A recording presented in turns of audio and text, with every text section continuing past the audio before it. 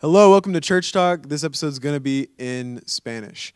Uh, hola, bienvenido a Church Talk. Tenemos muchos escuchadores en, en inglés, y, este, pero hoy tenemos a el salmista Juan Carlos Alvarado. Este, muchas gracias por, Oh. por haber hecho el podcast y Estamos para servirles. llegado a la tierra prometida de, de Arlington, este, el mejor campus del mundo de fe.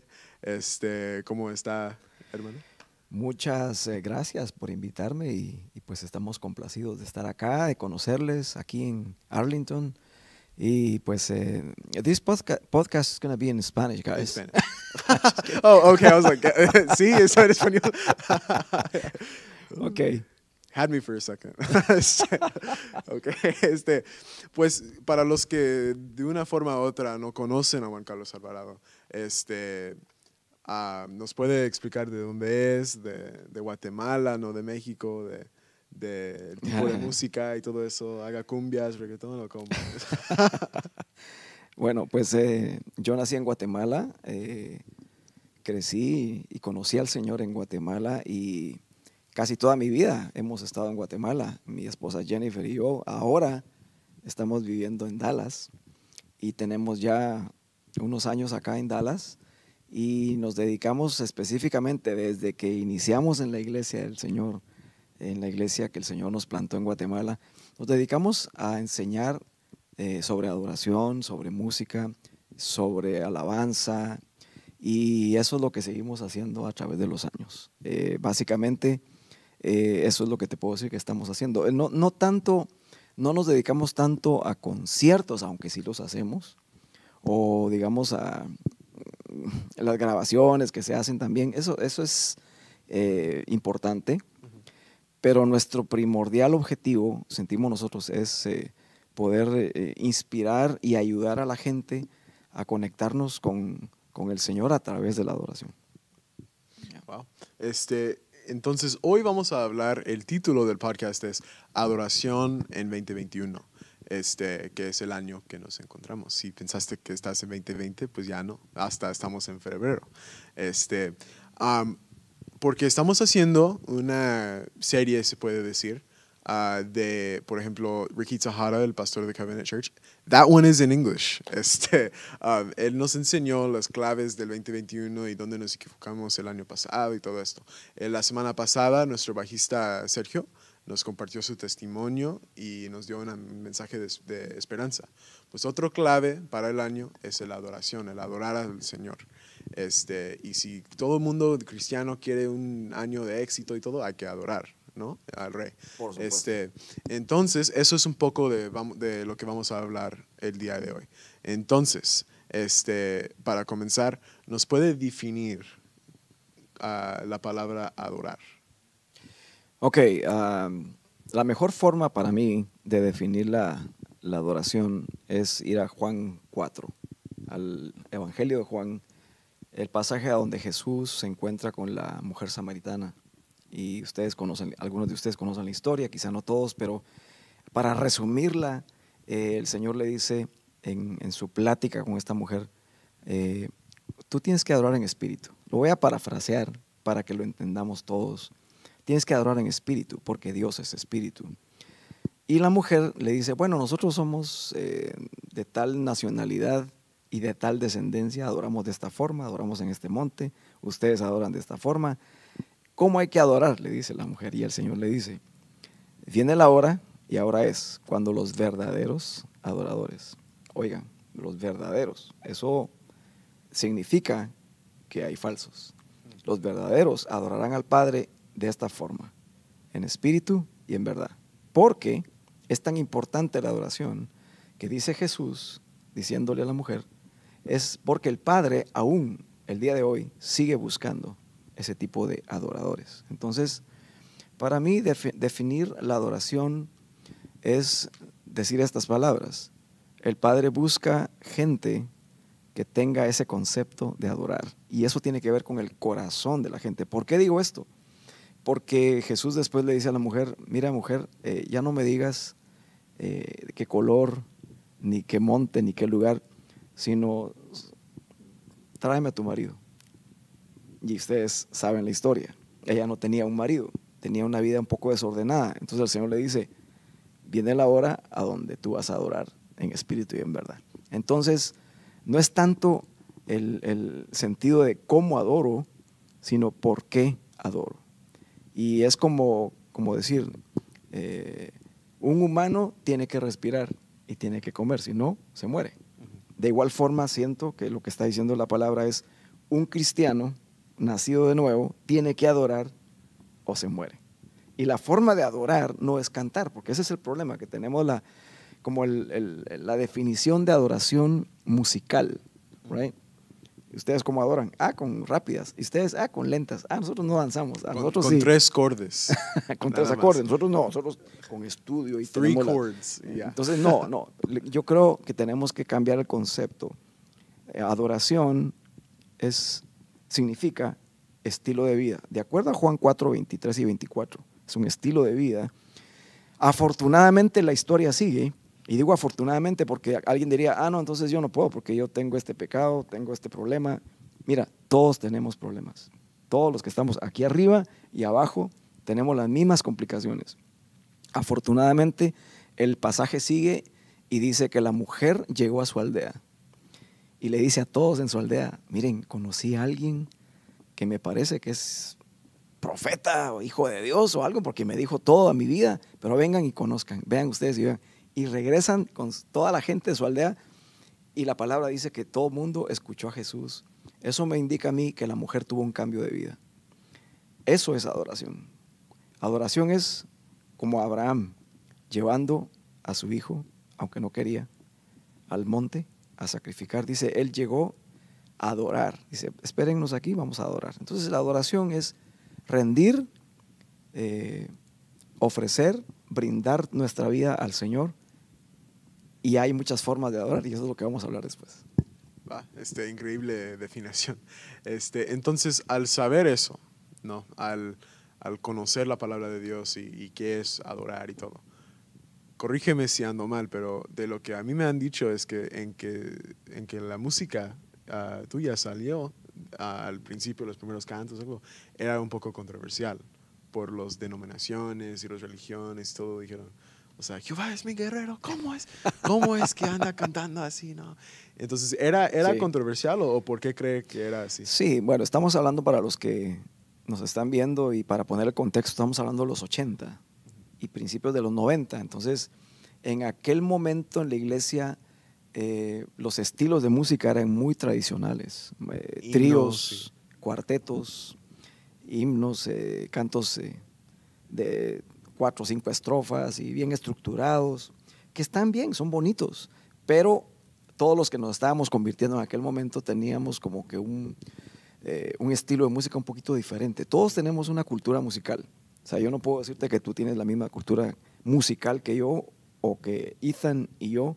Van, van a haber variaciones. ¿Por qué? Porque tú escuchaste desde niño música que te moldeó culturalmente, a mí también y a todos los que nos están viendo.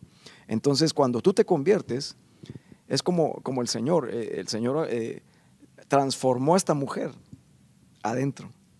Pero ella fue y le contó a toda su gente y vinieron. Y a, pesar de su tradición, el Señor empezó a usar a esta mujer como una evangelista. Ahora, igual es la música. La música eh, va a ser una expresión de lo que tú tienes adentro. Entonces, en aquel momento empezamos a hacer canciones que nosotros entendíamos culturalmente. Claro, la iglesia en aquel momento no estaba eh, cantando ese tipo de canciones. Entonces venimos con un Jehová es mi guerrero, con un santo es el Señor. ¿Y eso qué es? Esos ritmos, ¿verdad? Y, esa, y la batería y la guitarra y esto. Y, entonces sí, hubo, hubo, controversia. Al principio obviamente fue difícil porque nosotros mismos tuvimos que revisar muchas veces. Y eso fue bueno porque nos puso a nosotros revisar qué estábamos haciendo y por qué lo estábamos haciendo.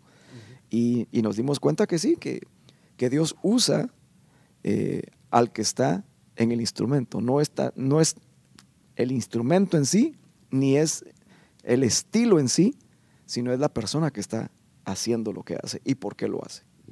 Wow. Este, entonces, con eso, me imagino que durante que te criticaron y todo eso, ya comenzaste a, aprender, ok, esta es la forma donde, la forma correcta de, de la adoración y esa es la forma equivocada.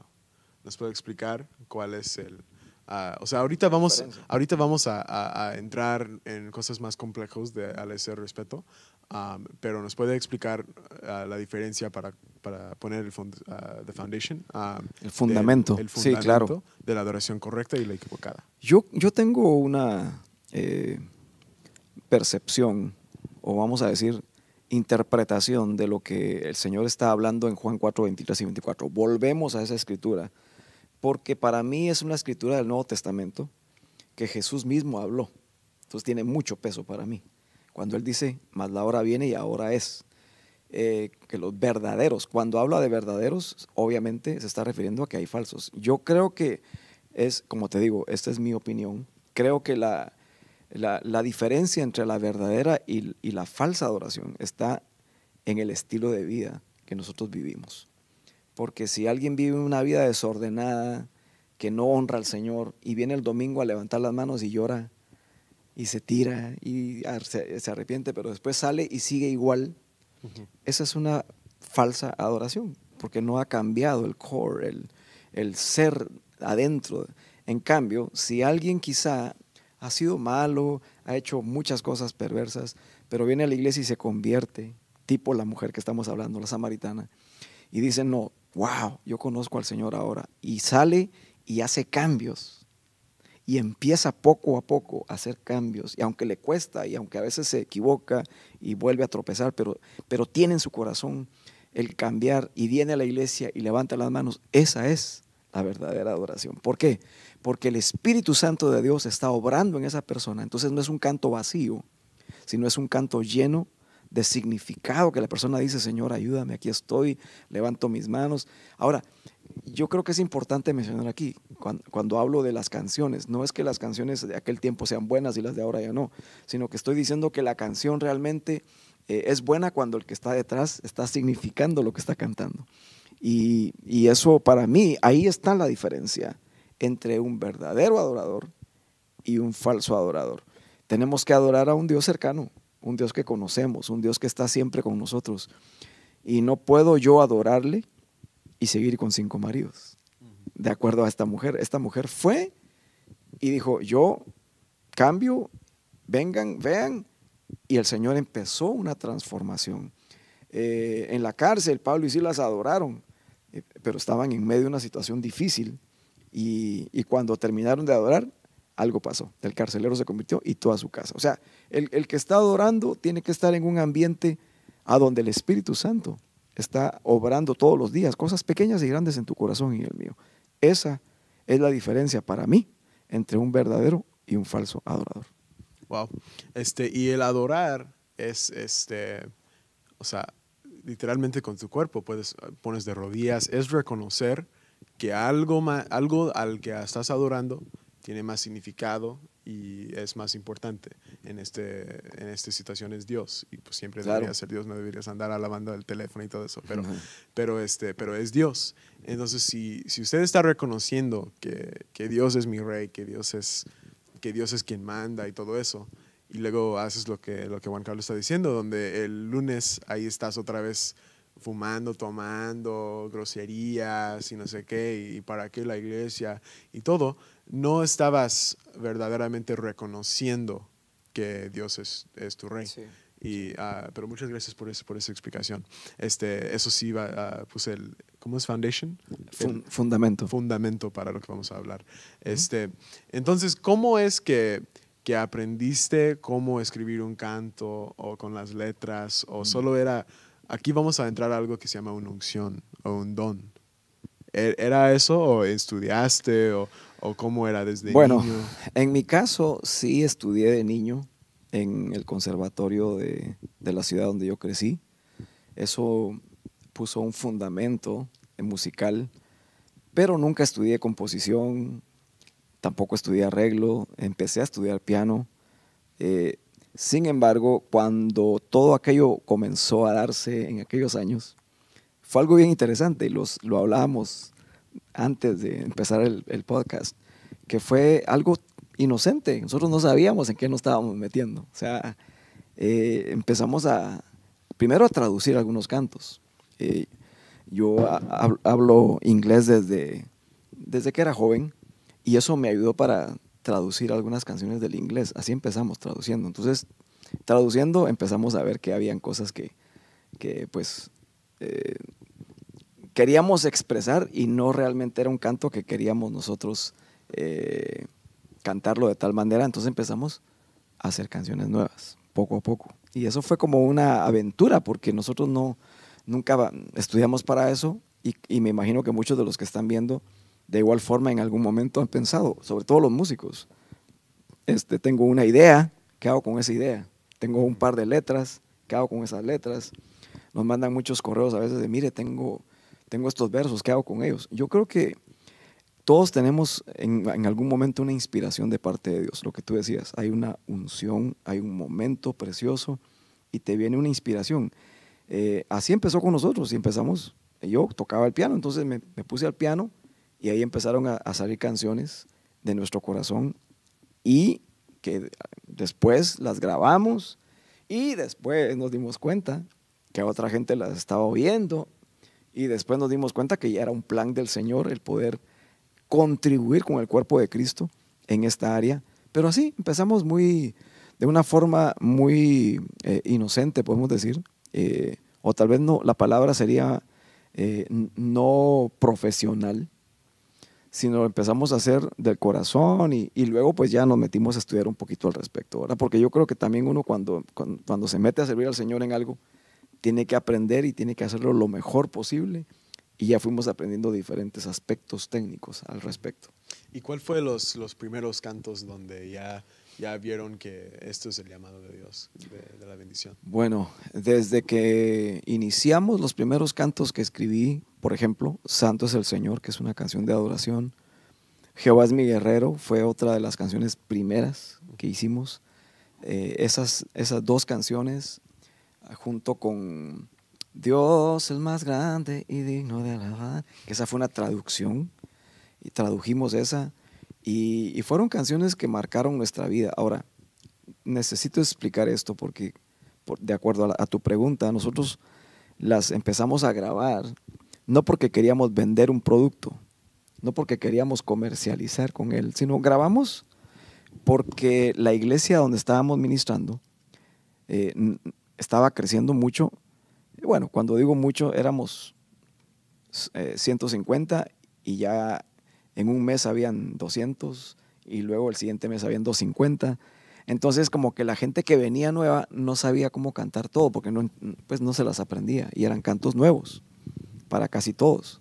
Entonces dijimos, bueno, hagamos un cassette y para recordarles los que no se recuerdan o no saben qué es un cassette, es una cosa de plástico cuadrada que se metía en un aparato y sonaba, ¿no? Y, Yo no he usado un cassette desde que fui. Tal vez ni lo conoces, mano, porque vos. En el carro que mi papá me dijo, pones ahí, yo, ¿qué? Estoy ahí poniendo. ¿Cuántos años tenés? Como ocho, quizá. No, ah, oh, ahora tú... 19. Imagínate, no. ¿Qué no, mila ahora... milagro que hayas usado un cassette, ya a tu edad. No, ahora, ahora abro Apple Music, busco la canción que quiero y ahí el plus sign lo pongo y ya hasta ahí. Pero sabes que es un cassette. Ajá. Hay muchos de tu generación que no saben ni tienen idea que es un cassette. Sí. Pero bueno, lo hicimos porque queríamos que la gente lo aprendiera y se lo llevara a la casa. Y para nuestra sorpresa, ese cassette empezó a salir a otros lados, a otras iglesias, a otra gente, a otra familia, se lo llevaron a otro país. Y entonces ahí entendimos que había algo que podíamos colaborar con el cuerpo de Cristo. Y así fue como iniciamos tanto el hacer cantos como el grabar. Wow. Y ahora con eso, ¿qué, uh, ¿cuál es su opinión de la, a ver si logro de pronunciación? ¿eh? Español no es mi primer idioma. No sé, no sé si Juan Carlos lo, lo sabe. traducimos pero, aquí. Pero español no es mi primer idioma. Yo, yo sé. Y si me das como dos semanas solo español, uh, yo, lo agarras más. yo desafortunadamente me pegó el chilango en Ciudad de México. Entonces, Oramos para que cuando, salga. no, cuando, cuando, yo regresé, andaba aquí eh, en el ensayo de la iglesia este, yo toco trompeta. Llegué al ensayo y, y, les dijeron a, les dije al líder, ¿qué onda, hijo? ¿Cómo está? ¿Qué show? Y, y, y me, me, quedaba viendo como... Se salió lo chilango en ti. sí, sí, sí. Y le dijo, ¿qué tranza? Y todo eso. Pero modernización, ¿sí lo logré? Modernización de la música cristiana. Muy bien. ¿Cuál es su opinión de eso?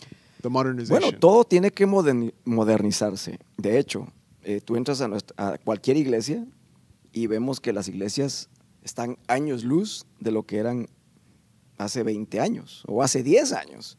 Gracias a Dios, todo tiene que irse transformando para bien. La música ha tenido su transformación y su cambio, eh, que es lo más común y es lo normal, creo yo. Todo tiene que ir de menos a más. De hecho, la Biblia enseña que nosotros vamos de gloria en gloria, de victoria en victoria, creciendo. Tiene, uno tiene que crecer, si no, se estanca y se muere. Creo que la, mo- la modernización tiene que pasar, sin embargo, sin perder la esencia de por qué te estás modernizando. ¿Por qué, por qué te estás modernizando? Porque quieres alcanzar a un, un mundo que no para, que está siempre yendo para adelante. Pero la esencia, que es el Espíritu de Dios, Cristo y su palabra, no debe de cambiar en nosotros. El problema que veo yo cuando nos modernizamos tanto, que ya no, ya no queremos ni siquiera orar, ni pedir dirección del Señor, ni, ni, ni pedir consejo, ni estar bajo autoridad, ni tener un pastorado, sino que ya nos ponemos demasiado eh, modernos, entre comillas, pero no sería la palabra moderno, sino tal vez salirnos de la esencia, eh, liberalizados o tan liberales de que ya no necesitamos ni de Dios a veces. Hay iglesias que se manejan ya solo por inercia, por una organización. Es ahí donde creo que está el peligro. Y la, y la música es una de ellas, una, una rama de la, de la parte del cuerpo de Cristo donde tenemos que hacerlo tan bien, tan bien preparado, eh, todo bien hecho, que suene bien, que se vea bien, pero creo yo que la esencia sea la misma de hace 30, 40 años, hace 100 años, la misma esencia que tenía Lutero cuando escribió sus cantos de decirle, Señor, tú eres eh, mi fortaleza, mi castillo fuerte. O sea, otra cosa importante, no sacar lo más importante de nuestra música. ¿Qué es eso? La palabra. Porque cuando sacamos la palabra, sea la traducción que tú quieras, pero cuando quitamos la palabra de nuestra música, entonces se volvió una vez más en música normal.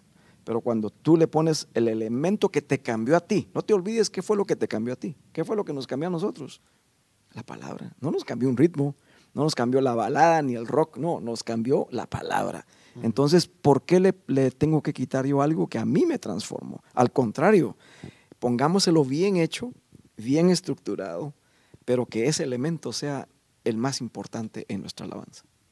Wow. Este, ahorita vamos a, a entrar un poco más en, en eso de, de la música, de que a veces está más enfocado en sí mismo en vez de en Dios y, y cosas así, pero um, tocando un poco más de modernización, ah, ¿qué piensa de, um, del cambio de, de, de, de cordes, de chords? Ah, por- porque es, una, es un chiste que con las canciones cristianas, si- yo puedo escuchar los primeros 10 segundos, es cristiano, o así, por los the chords, de, de misma, mismos tonos y todo eso. Entonces, ¿usted piensa que hay un, un peligro en escuchar una canción secular y decir, si cambiamos la letra a algo así bíblico y algo así, cambiaría el estilo, más gente lo escuchará?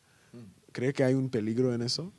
Yo creo que el músico cristiano, eh, poniendo de ejemplo a David, por ejemplo, voy a poner al ejemplo de él porque para mí David eh, es de los mejores músicos que ha existido en la historia. ¿Por qué? Porque él no solamente estudió su música, se dedicó a su música, sino que también empezó a inventar instrumentos. Ya cuando tú te pones a fabricar instrumentos, ya quiere decir que tienes un degree. o sea, este, este, este hermano, David, que algún día lo vamos a conocer, Sí. él no solo era músico, era apasionado de tal manera que era de los que decía, si no hay, lo inventamos y lo hacemos. Creo que el que, el que, el que toca en la iglesia debe de meterse a estudiar lo más su instrumento, sus, su conocimiento musical, de tal manera que la música se oiga, se oiga exquisita. No sé si me, me explico. Yo no creo que tenga que ser tres acordes. Mi opinión es que tiene que ser algo bello, bien hecho. Eh, no todos los músicos van a desarrollar el mismo nivel, pero por eso hay diferentes eh, niveles y para eso también hay diferentes posiciones de cómo alguien tiene que ministrar, cantar, dirigir. Si tú estás tocando el piano principal, obviamente tienes que tener una habilidad en cuanto a la armonía, pero yo creo que sí es importante crecer eh, en nuestra musicalidad. En cuanto a la pregunta que tú me dices, de que si hay un peligro en estar escuchando los acordes seculares, creo que sí, porque todo lo que, lo que tú eh, escuchas, pues en alguna forma te, te afecta, para bien o para mal. Y, no hay necesidad de estar escuchando cualquier cantidad de cosas, porque ahora, gracias a Dios, que eso no lo había antes, pero ahora, gracias a Dios, hay mucho más escuelas, eh, y universidades, y etcétera, que, que, te pueden enseñar si tú eres un guitarrista, si tú eres un bajista, a ser increíble. Y hay músicos cristianos que te pueden enseñar también. Ahora, si vas a una escuela no cristiana, para mí está bien. Puedes ir a una iglesia, a una escuela de música, pero tú tienes que entender que vas a aprender música, no vas a aprender otras cosas, ¿no? Ahora, eh, sí tenemos que crecer en la iglesia. Eh, yo tengo músicos amigos que incluso tocan conmigo en la banda que son increíbles y están creciendo todo el tiempo. Eh, ellos tocan 10, 40, 50 veces mucho mejor que yo. pero sí creo que todos tenemos que ir creciendo en el don que Dios nos dio. Wow. Este, y um, un, algo uh, interesante que tocaste era que que ah, siempre tenemos que ir en gloria en gloria mejorando y mejorando. Y algo que va a mi mente son los, las pistas, los, los, click tracks, todo eso. Me imagino que eso no fue inventado por la iglesia. Este, ¿Quién soy yo? No soy un, un doctor que anda analizando y todo, pero me imagino que eso no fue de, de, de tal iglesia en tal país. Entonces sí hay cosas seculares que pueden a dar beneficio al cuerpo de Cristo, pero hay que tener cuidado. Este, Cuando tú llegas a la iglesia y tocas y pones tu oído y escuchas guía y, y intro y todo eso, creo que eso no fue inventado por la iglesia, pero este, entonces ah, es buen punto. entonces, esta es un, ok, ¿por qué es que tantas canciones hoy día hablan más del yo en vez de Dios? Al donde voy con eso, algo que mi mamá siempre me ha dicho y a veces me hace enojar, pero es buen punto, lo admito, es buen punto, ella está correcta y todo. A veces, ah, hace años y hoy día, o sea, todos nos equivocamos, escucho canciones que según son cristianos. Y luego mi mamá lo escucha conmigo y luego me dice, yo, yo, yo, yo, yo, yo, yo, yo, yo. ¿Cuántas veces la canción dije Dios? a ver, ponla. Y ahí anda cantando, ah, contando. En su, en su propio contexto. Pero con eso me enseñó. Eso está hablando que yo, que yo necesito, que yo, que yo, que yo. Eso no es adorando, eso es pidiendo. Correcto. Que a veces tiene su momento, pero no puedes decir que andas adorando y, y confesando y todo cuando estás tratando de mandar a Dios. Entonces, ah, no sé si usted ha notado eso en las canciones y cómo es que podemos tener el, el discernimiento espiritual de es que esta canción verdaderamente está adorando al Señor o no. Mira, yo creo que el concepto eh, de modernizar la música en algunos eh, contextos cristianos lamentablemente ha sido eh, el, quitar los nombres de Dios, de Jesús, de no mencionar el Espíritu Santo, porque eso como que va a asustar a la gente o las va a alejar. Pero vuelvo y repito lo que dije hace un momento. Si eso fue lo que a mí me atrajo y lo que cambió mi vida, porque yo se lo quiero quitar ahora, en un mundo que está aún más perdido y que tiene más necesidad que hace 30 años.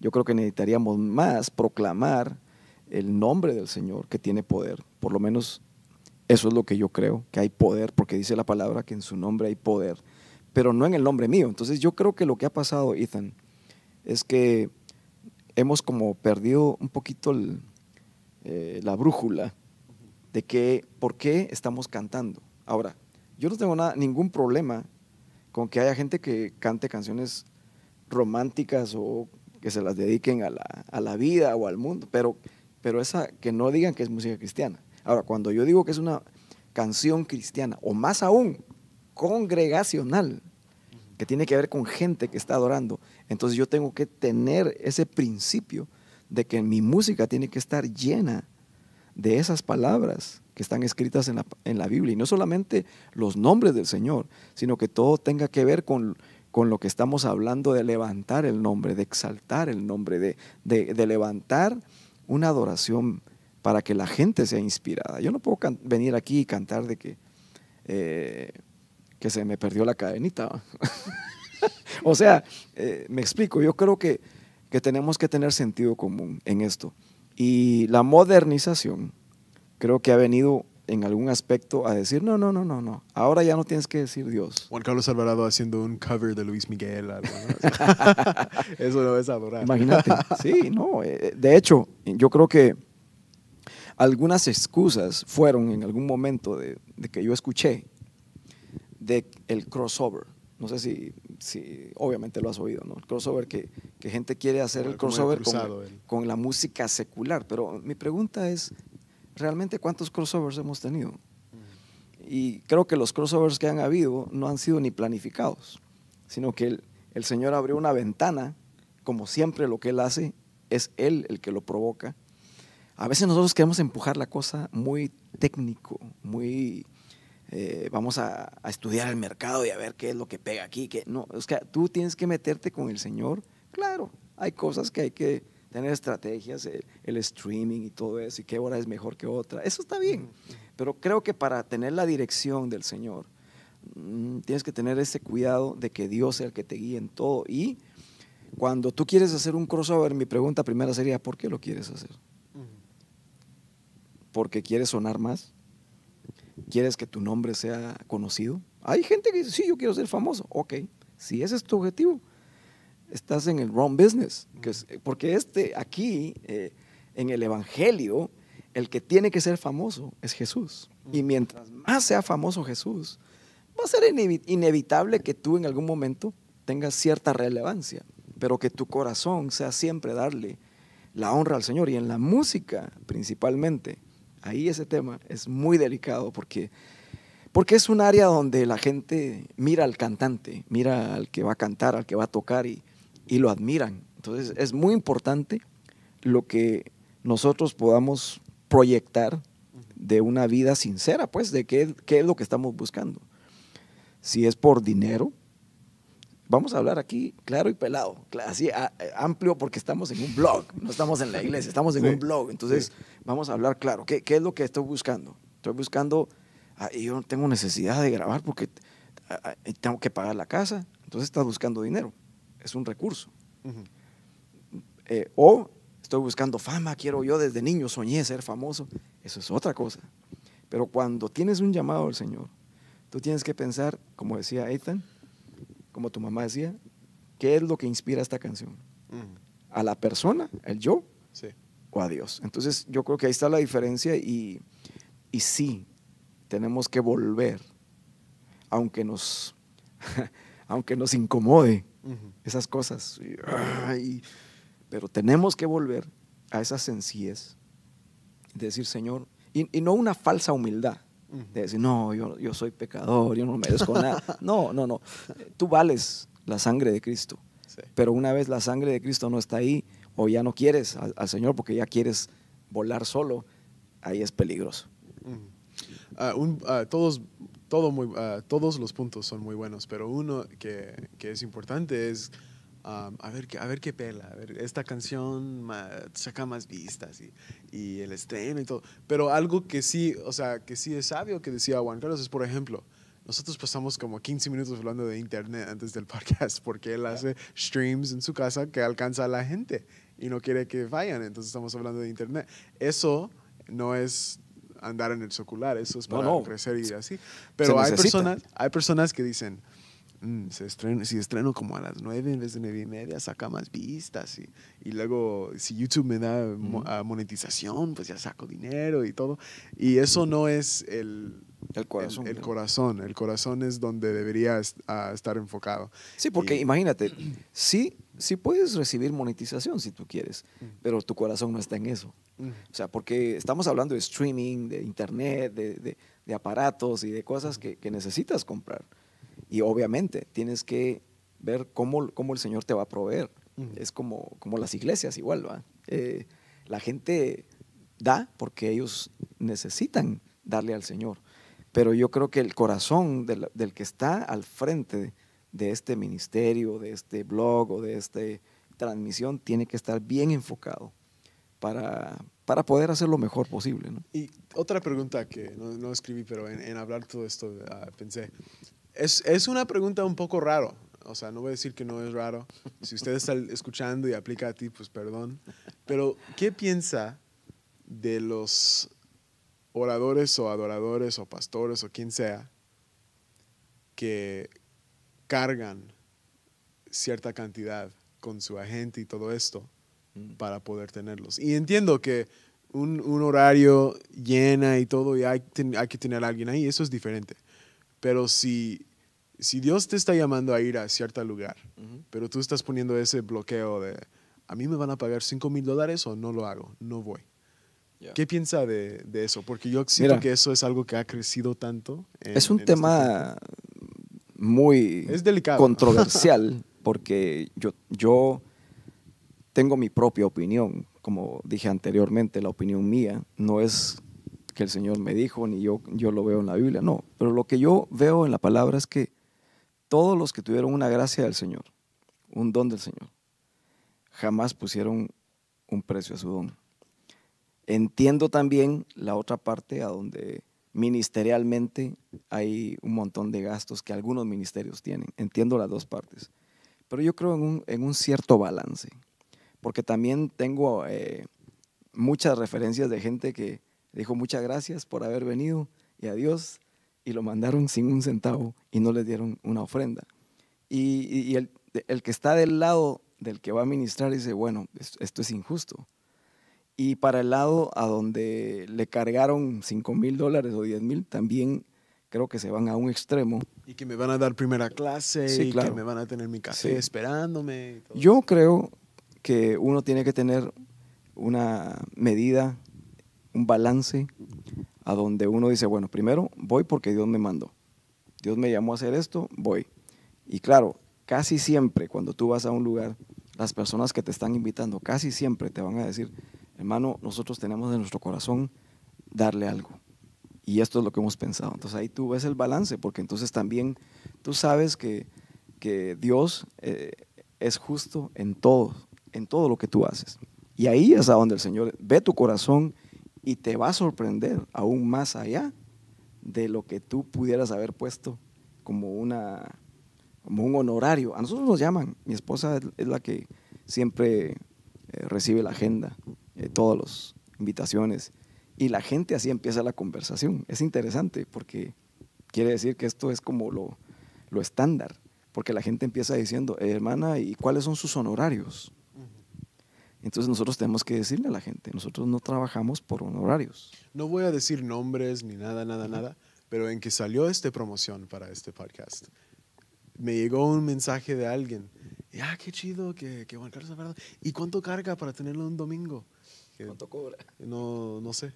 La verdad no, no tengo idea. ¿Y cuánto cobra? Y yo pensando, ¿cómo que cuánto cobra si es un orador? Pero sé que es algo donde hoy día ha convertido en, en un normal, sí, sí. donde una iglesia tiene que ahorrar y ahorrar y ahorrar para tener... Claro, da ofrendas. Yo, yo soy hijo de pastores y yo veo de los dos lados igual. O sea, yo veo de, de no vamos a tener este invitado porque hay que darles una ofrenda, pero si no cargan, no, o sea, hay que darles algo, y, y etcétera, etcétera. Uh -huh. Y este... Uh, entonces es algo delicado, sí. don, pero hoy día el ha balance, sido el, el, normal. Hay, hay, que tener el un balance, balance. y también eh, creo que considerar a, a dónde tú vas también. Mm. Porque con mi esposa hemos ido a lugares a donde más bien nosotros tenemos que ofrendar lo que estamos haciendo. Es decir, compramos nuestros boletos y vamos. Y no tenemos ningún problema haciéndolo porque sabemos que Dios nos mandó a hacer algo. Y algunas veces nos han invitado de lugares a donde nosotros no creíamos eh, poder recibir algo y Dios nos dio, como digo, Dios nos sorprendió y nos dio aún más de lo que nosotros y pudimos haber imaginado. Yo también tengo eh, que decir que hay un balance porque, por ejemplo, yo tengo una banda. Uh -huh. Yo sé que todos los, los hermanos que van conmigo, que son como ocho personas o nueve, dependiendo, eh, con metales y todo. No, todo tú que show, tocas todo trompeta, tú sabes, ¿no? Yo no tenemos- toco tan, tan como esos metales, pero... No, pero sabes que, que- que si yo te dijera, bueno, vamos Ethan a algún lado, pues tú tal vez, tal vez irías, pero tú estás soltero, ¿no?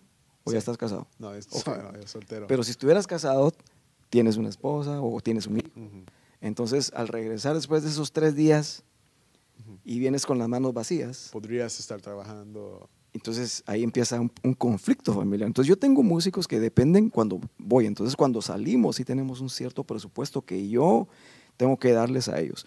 Pero eso es, eso es diferente a poner un precio a lo que Dios me dio a mí. No sé si, si I'm making sense, No, si sí, estoy haciendo no, sí. sentido en esto, pero creo que tiene que haber un, un muy buen balance y sobre todo chequear las motivaciones, revisar mis motivaciones. Es como que tú me hubieras dicho ahorita, mira, quiero que hagas este podcast. Y yo te digo, ok, ya, son, son mil dólares. ¿Cómo, ¿Cómo lo hubieras recibido tú? O sea, yo creo que, que todo tiene un lugar, todo Sí. tiene una medida. Y, y lo lindo del Señor, lo lindo del Señor, y te lo digo como un testimonio, es que cuando tú eh, le das al Señor y a la gente conforme Dios te lo dio, eh, Dios te, te da más y más allá de lo que uno puede imaginar. A veces hasta uno dice, Señor, no merezco tener algo, pero Dios me lo da. Y, y gracias a Dios por eso, porque Dios sabe el corazón de cada uno. Sí, y, y, bueno, ah, por cuestión de tiempo vamos a continuar. Yo podría hablar de ese tema por años. Siendo, siendo hijo de pastor, yo veo lo bueno y lo malo y, y veo, you know, ¿por qué no podemos tener esta persona? No, es que fíjese y tan que carga Claro. y todo eso. Y, Ethan, y, y- y no solamente con músicos, estamos hablando de, de pastores, Sí. de, de todo tipo de evangelistas, y que esto y el otro, y, y cosas que se oyen de extremo, pero ¿sabes qué? También tenemos que hablar de los buenos ejemplos. Sí, exacto. No solo poner los malos, sino los buenos, porque yo conozco gente que hoy día está ministrando que no te pide nada Sí. y Dios los usa tremendo y son gente que están haciendo cosas muy poderosas para el Señor. Este podcast va a terminar y vas a estar animado, eh, o sea, solo para decir. vas a sentir ganas de ir y correr y todo, pero este, continuando un poco. Am, estamos hablando del adorar en 2021. Un tema que, quiero tocar es, es el, el adorando en línea.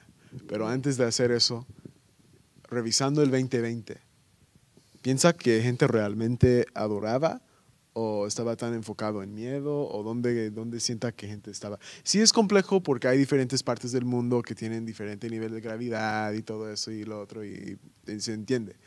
Pero ¿cómo, cómo ves el, el adorar en 2020? El llegar en marzo, abril, todo un caos, el julio, el septiembre y, y las vistas de la iglesia se comenzaron a bajar y todo. Y no sé en sus transmisiones si viste una bajada de vistas, todo eso. Mira. ¿Qué piensa del, del 2020? Yo creo que el 2020 fue un año eh, tan importante. Y, no me malentienda, no quiero decir que necesitamos pasar otro 2020, pero creo que era necesario en algún aspecto en la iglesia. Estábamos hablando con un amigo hace unos minutos antes de entrar a este blog, que fue realmente como un cer- cernir. Eh, eh, que caiga toda la, la arena y queden solo las piedras arriba. ¿Sí? O al revés, que caiga toda la arena y que queden. Porque en 2020 todo se cayó, Sí. todo cambió. Eh, Hasta a usted le tocó COVID, ¿no?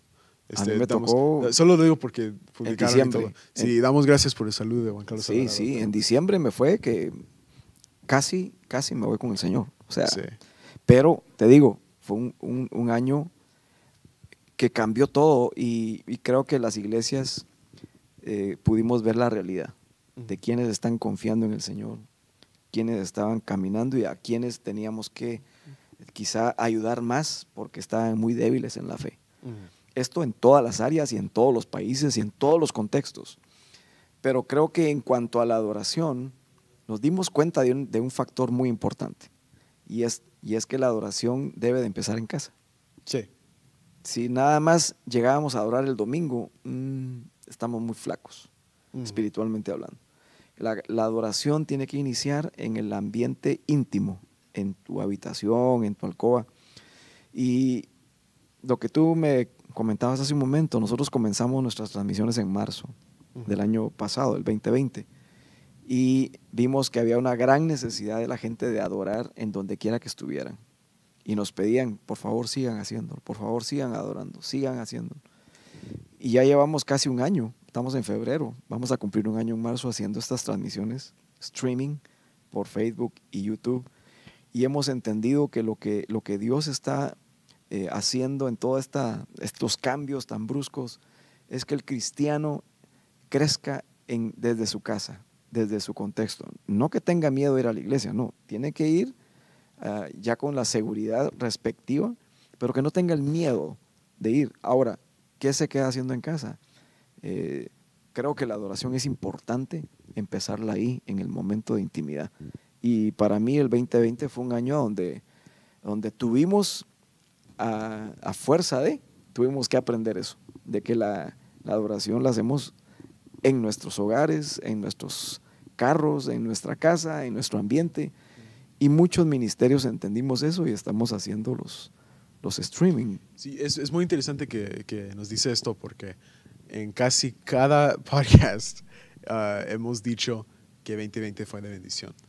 No de la enfermedad y todo eso, sino del, del avivamiento, de, del ver la realidad de las cosas, quiénes de la iglesia son de la iglesia, quiénes solo por, venir así tranquilo y, y, ah, y, hasta les doy un testimonio rápido, ¿no? Y no es así grave nada, pero ya no voy a decir nombres ni nada, esto es algo donde si me conoces personalmente sabes que a veces me pongo chismoso, entonces no diciendo nombres ni nada, pero alguien de la iglesia y yo, los dos fuimos a México. He dicho este testimonio varias veces ya.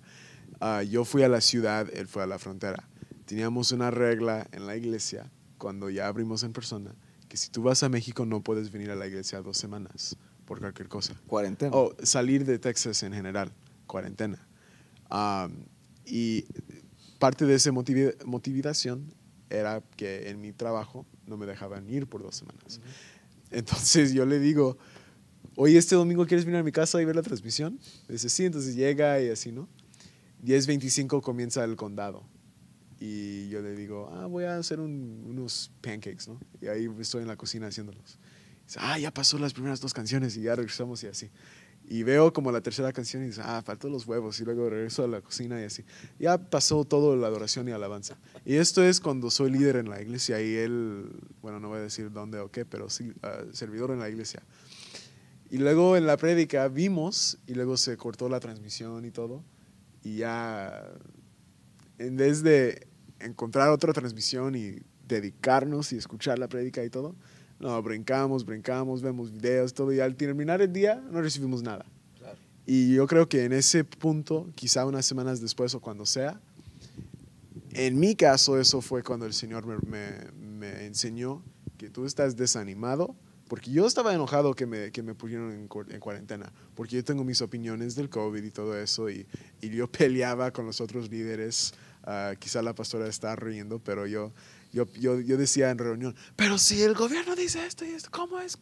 Y ya todos hartos con uno al otro, dijimos, bueno, cuarentena, está bien, y ya. Entonces yo estaba harto, desanimado, y ese fue cuando, en mi caso, yo vi que no he estado enfocado en la iglesia. He estado enfocado en la iglesia, pero no en recibir algo. Dar, dar, dar, dar, dar, pero nunca recibir. Nunca escuchar una prédica y así. Entonces, en cada persona tiene su experiencia del 2021, er, del 2020, donde, o quizá lo está teniendo ahorita al escucharlo y dar cuenta que, wow, esto fue cuando el Señor me enseñó que estas son las formas donde debería Sí, cuando, cuando, cuando pasó el corte de que ya no podías hacer nada, yo dije, ¿ahora qué? Now what?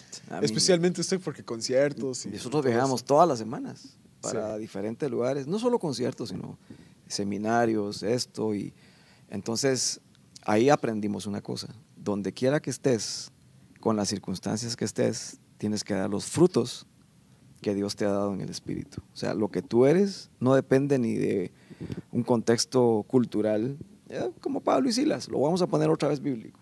Si Pablo estaba afuera, hacía lo que tenía que hacer. Si estaba dentro de la cárcel, igual. Él a medianoche adorando. ¿Y qué pasó? Terremoto. O sea, donde tú estés, si estás enfocado en lo que Dios te dio, vas a ver la mano de Dios obrando. Y nosotros dijimos, bueno, ¿ahora qué? Yo recuerdo, marzo 15, exactamente. Eh, en aquel tiempo el presidente Trump dijo, hagamos un... um, 15 Un- days slow spread. No, Pero un día de oración. Ah, sí, sí, sí, mejor. ¿Tú recuerdas? El día de oración nacional. Y estábamos almorzando con mi esposa. Y dijimos, wow, si el presidente de esta nación pone un día de oración, ¿por qué no nos metemos esta noche a adorar? Ahora, yo te cuento, yo no había hecho muchos lives. Yo creo que había hecho dos lives en mi vida. Mm.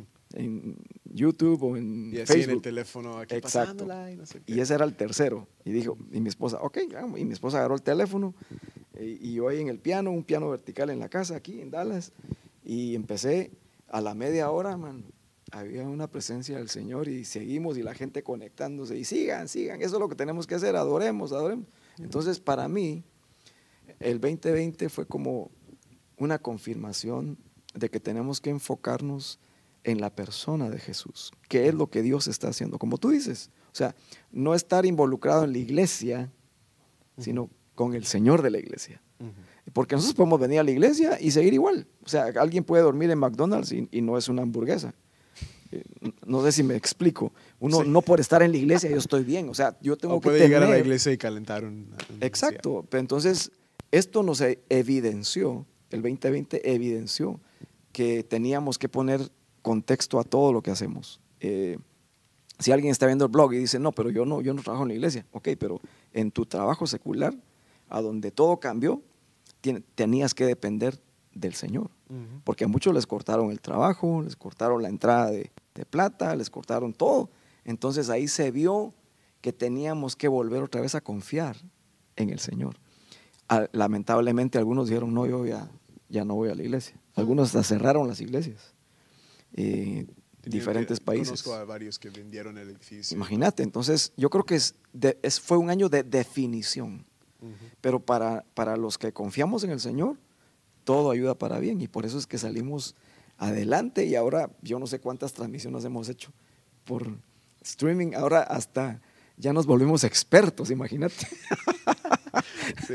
No, yo le preguntaba cuando, cuando llegó aquí al- a la iglesia y todo, le pregunté, ¿y tú haces todo eso? ¿O tienes un producer ahí o alguien? Y dice, no, yo manejo la nos consola y todo. Y no sé". de todo, yo, wow, o sea, Ahora consideramos más a los sound guys, a los ingenieros y a los camarógrafos y a los que tienen ahí los, los controles de la luz. Ahora ya los consideramos más. Antes les gritaban. Ahora ya no. Ahora, eh, colega, por favor. Sí, hay, hay memes del, del Pastores hace 10 años. El Facebook está terrible, que señor.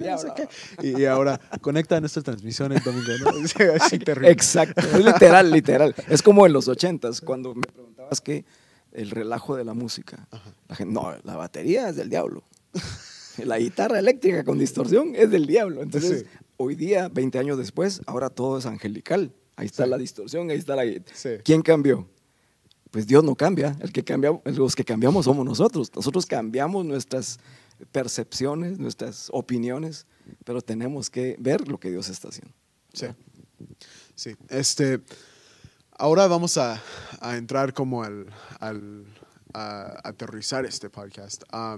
Pero algo que, adorando en línea, toda esta plática de, la adoración con el teléfono y todo eso, ¿cómo es la forma correcta de adorar en línea, de escuchar una canción, de, de planchar mientras escuchar o cómo durante este año? Porque adorando en línea no va a ningún lugar porque ya vimos el poder de hasta Estados Unidos, todos en casa.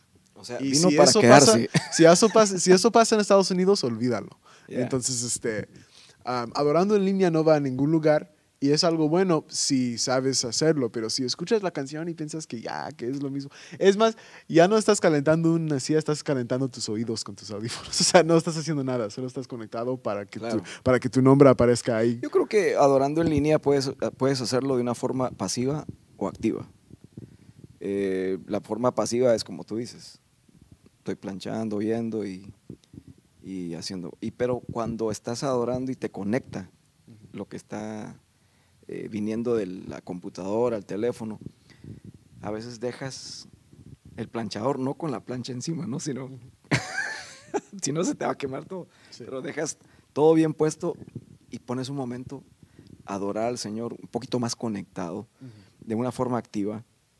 creo que no hay una forma correcta. Creo que todo lo que viene de una pantalla, eh, tienes que tener cierto grado de, de, de retención y de ubicación para estar eh, dedicado a la pantalla por 30 minutos. O sea, no, no es algo fácil.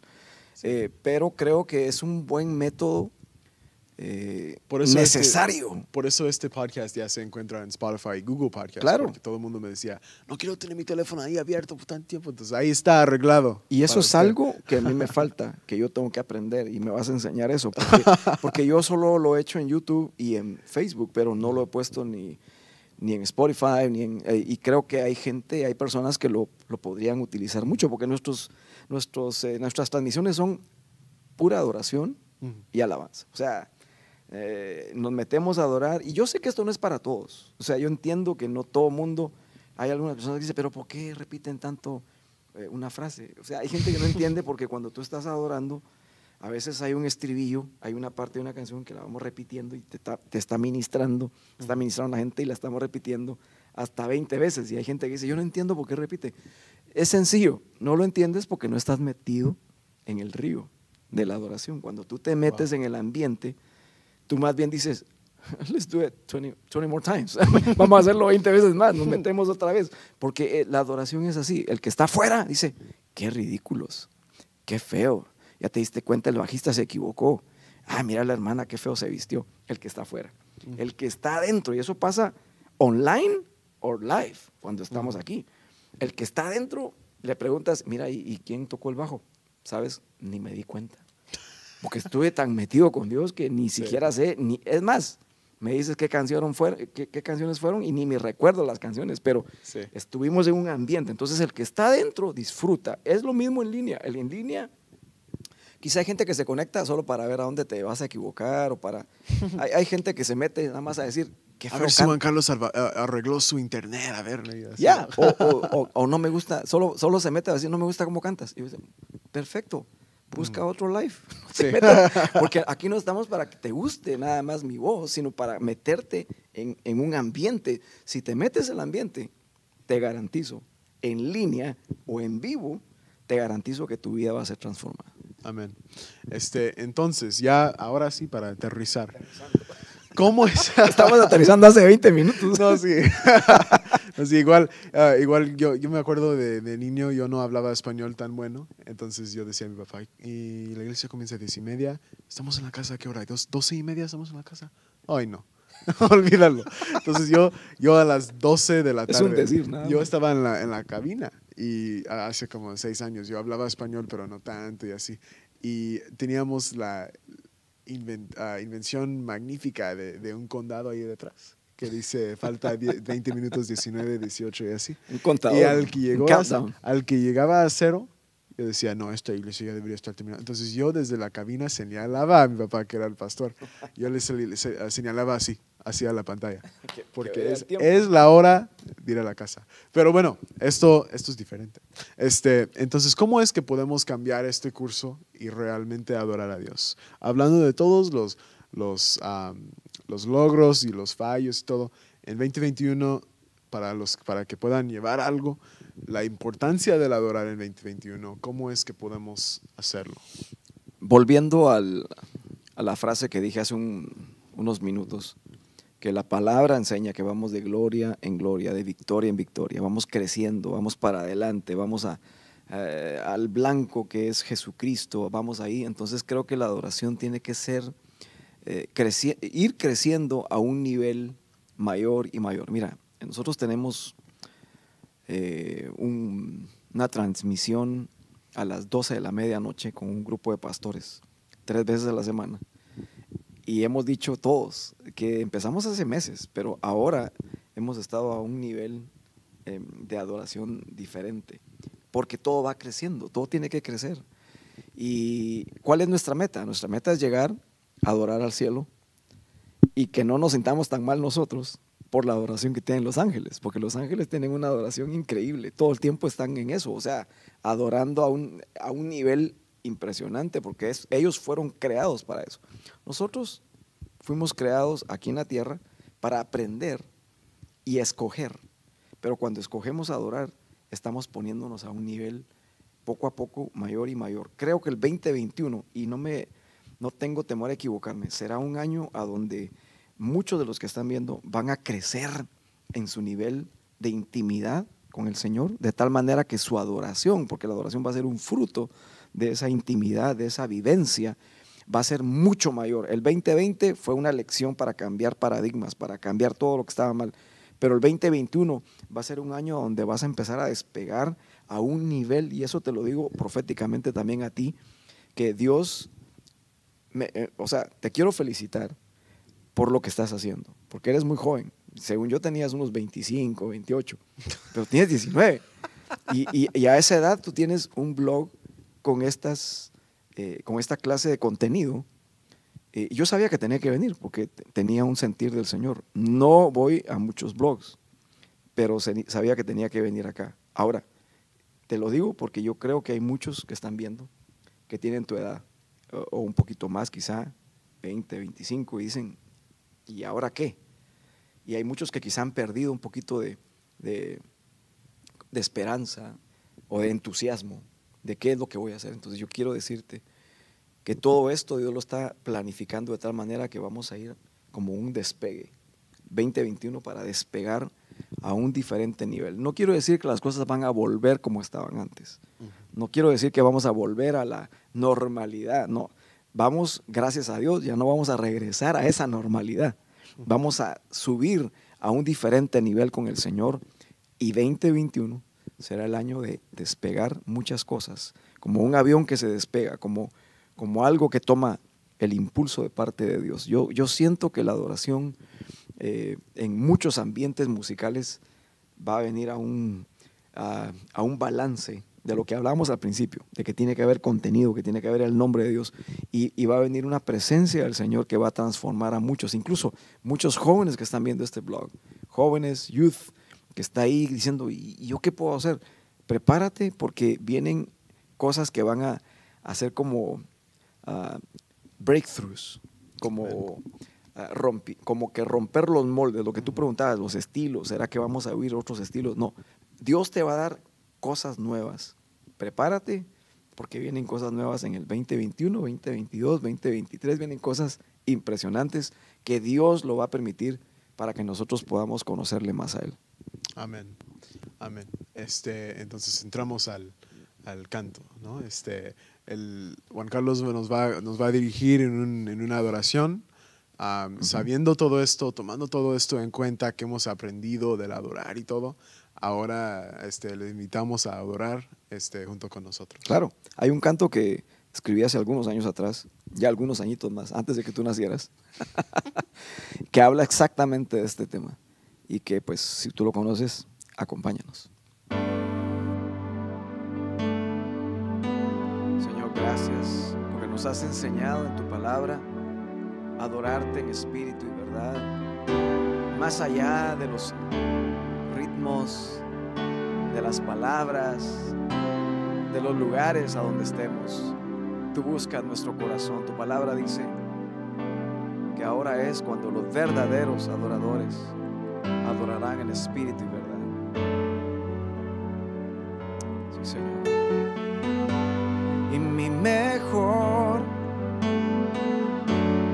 adoración es entregarte todo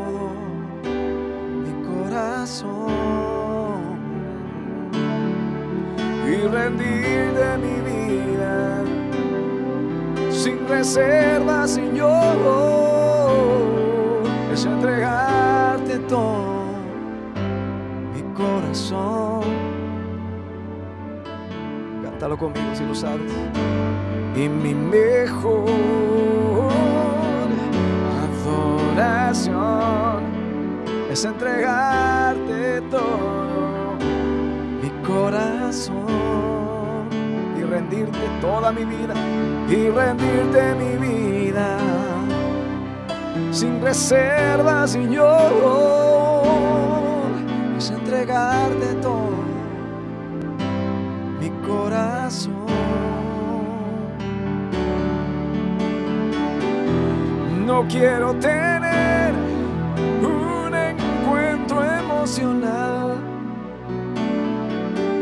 Yo quiero encontrarme contigo y verte, Señor, sentado en majestad. Y toma mi corazón, quiero cambiar. Vamos, dile, no quiero tener un encuentro emocional. No quiero tener emocional. Quiero encontrarme contigo y verte, mi amado, y verte, Señor, sentado en majestad. Toma mi corazón, quiero cambiar. Oh, toma mi corazón, cambiar. Dile, toma, toma mi corazón, quiero cambiar. Y mi mejor y mi única adoración es entregarte todo mi corazón. Dile y rendirte mi vida, y rendirte mi sin reserva, Señor, es entregarte todo mi corazón. Te entregamos todo. Hoy te entregamos todo, mi amado. Que sea nuestro caminar, mi mejor adoración. Ofrecerte todos los días de mi vida, lo mejor de mi vida. Queremos Queremos aprender a adorarte en espíritu y verdad. Ahí en tu casa dile, ayúdame Señor. Ahí donde estás, dile, yo quiero aprender a ser un adorador. No solamente cantar por cantar. No solamente tocar por tocar Quiero aprender a tocar tu corazón. Ayúdame Espíritu Santo. Ayúdame Señor. Gracias Padre por este tiempo. Te damos nuestro corazón hoy. Eres todo lo que anhelamos. Eres nuestra esperanza. Eres nuestro amor eterno. Gracias, Padre, por tu Hijo Jesucristo. Y gracias por tu Espíritu Santo, que nos guiará a toda la verdad. En el nombre de Jesús. Amén. Muchas gracias a, a Juan Carlos por dirigirnos en esa canción, este, mi mejor adoración, a, a una nueva versión con Quique Pavón, este, muy buena canción. Este, Quique, si estás viendo, muy buena canción. Sí, este, gracias entonces, a muchas gracias a, a Juan No, Carlos gracias a Alvarado. ti por la invitación. Sí, sí, claro, y esperamos tenerle otra vez Claro. este, en, otro, en otro podcast. Y a cada persona viendo, comparte esto. Está en YouTube, Facebook, Spotify. Google Podcast y cuatro otras plataformas que no conozco. Y que tengan una buena semana. Chao.